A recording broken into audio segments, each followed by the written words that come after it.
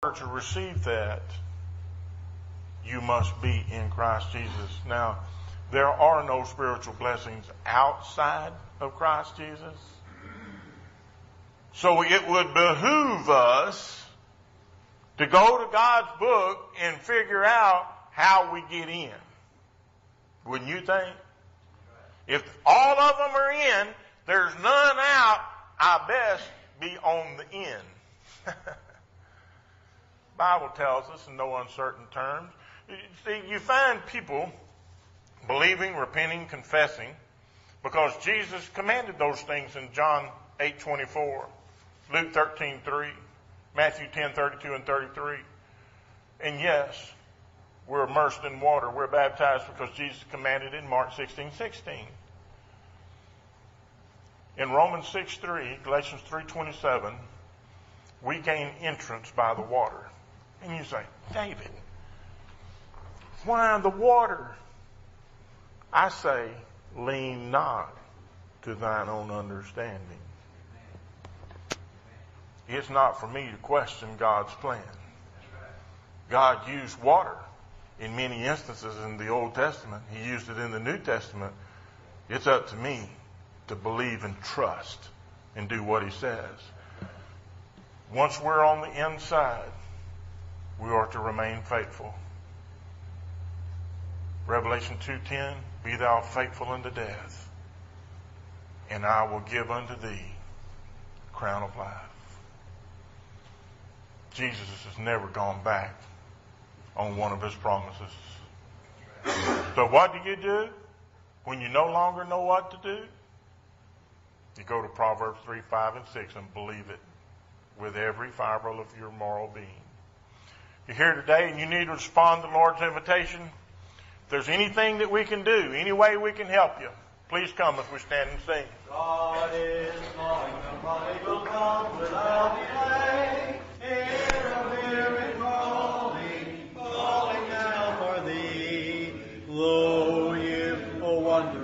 From his presence come today. His loving voice calling still.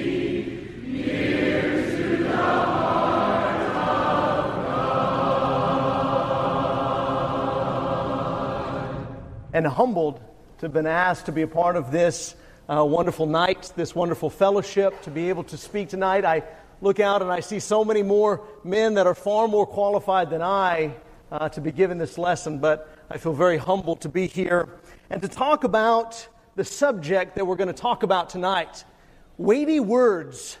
I like that idea. And unity surely is a weighty word, isn't it? I wonder, I wonder though, if we realize the weight of that word.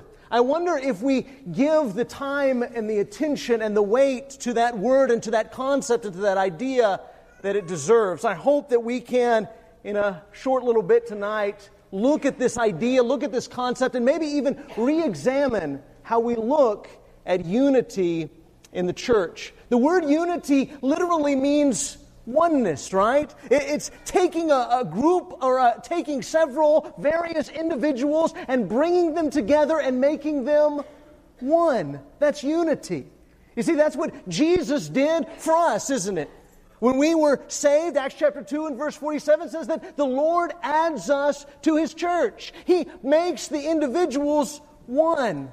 And when I think about individuals becoming one, I, I think about a team.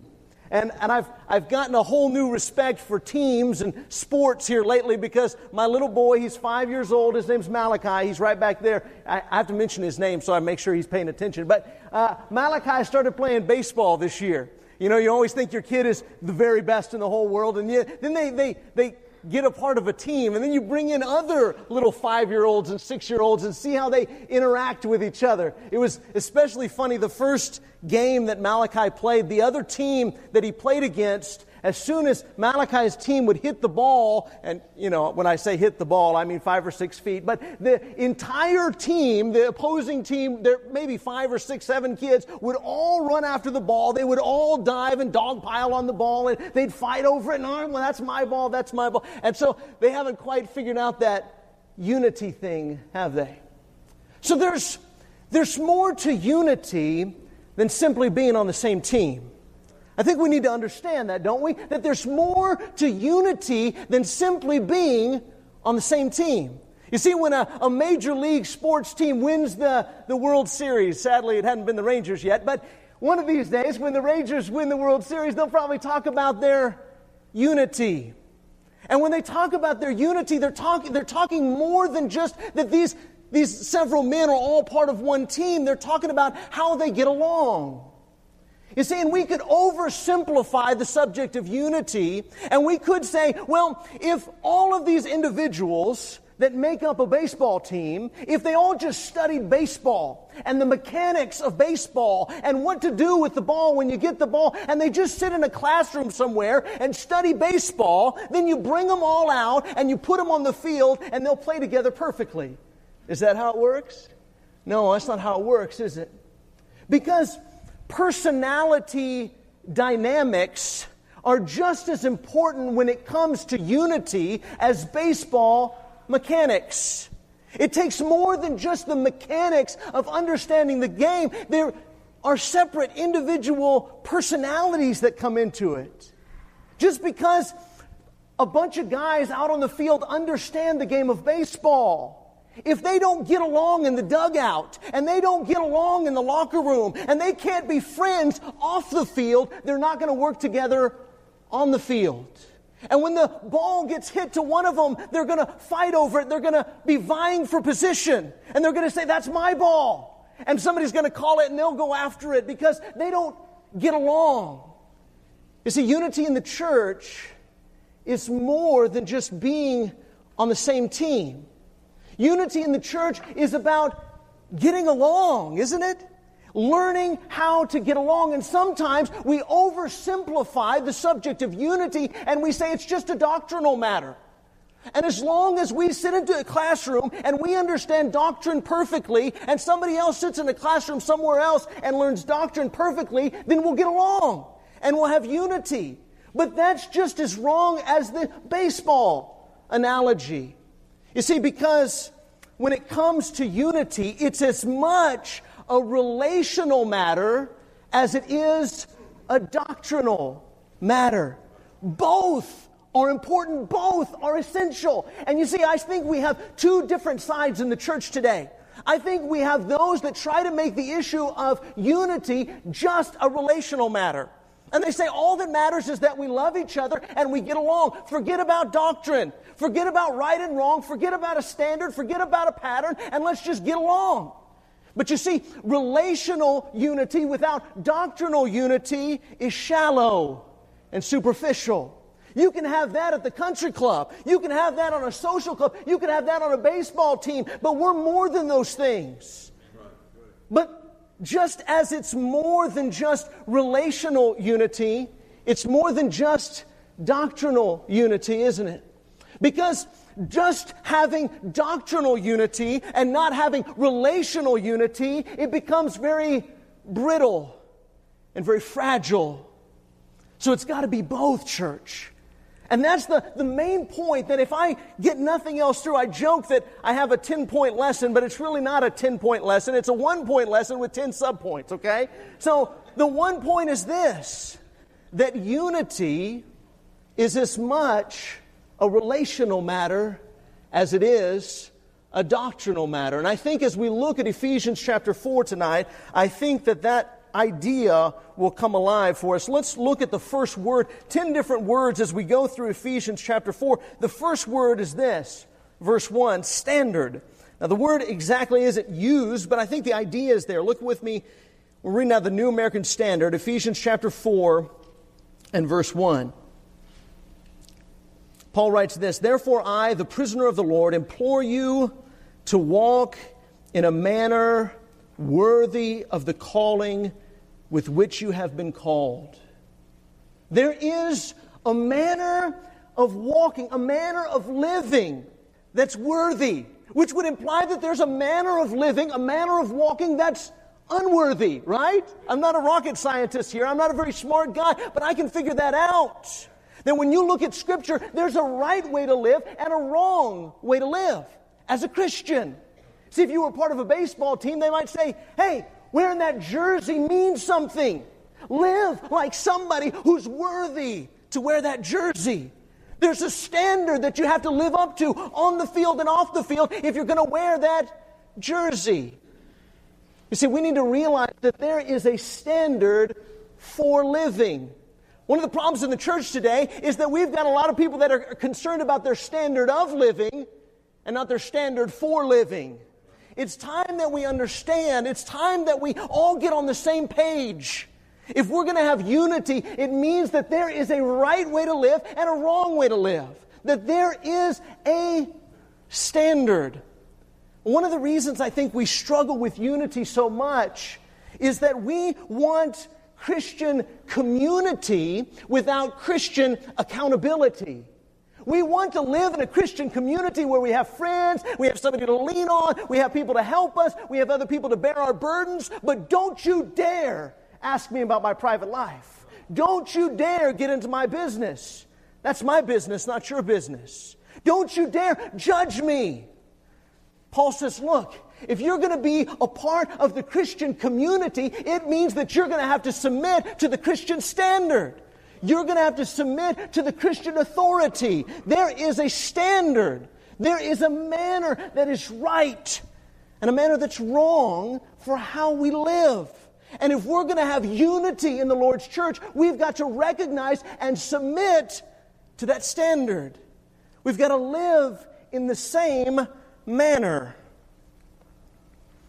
The second word is humility. Want to get more into the relational side of things here. And I don't want us to ignore that or overlook that because it's so important. And again, unity in the Lord's church is as much a matter of it's as much a relational matter as it is a doctrinal matter. Chapter 4 and verse 2. With all, with all, not with some, not with a little, but with all humility See, we've got to recognize that unity in the church begins with humility in me. Unity in the church. Thank you for tuning in to the Diligent Podcast, a work of Scattered Abroad which is overseen by the East Hill Church of Christ in Pulaski, Tennessee. You can find our website at scatteredabroad.org.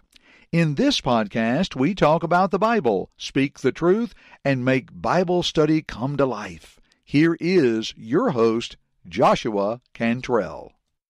On this season of the Diligent Podcast, we have been asking a question, and that question is How do you handle?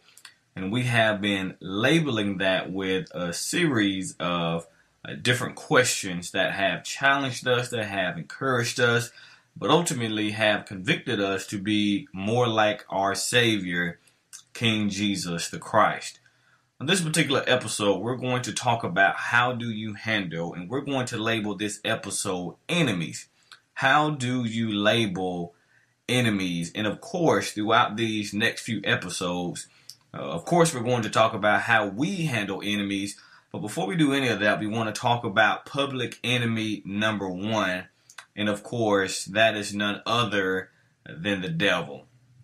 If I was going to introduce him to you, I would say, first of all, uh, that he is a liar. That's what he is, and that's who he is. He is rude, he is cunning, he is unmoved by our pain or our emotions. He wants to destroy your marriage and your children and everything around you. He wants to see the congregation you attend fail. He wants us to quit what we're doing. He wants to arrest your faith, and he wants you to surrender. He has destroyed more homes than anyone. He has destroyed more marriages than anyone.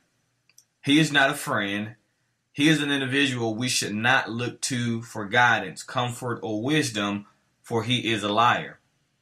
Satan has been battling in his own mind, if you will, with God, because I believe there is no battle going on. There is no comparison going on.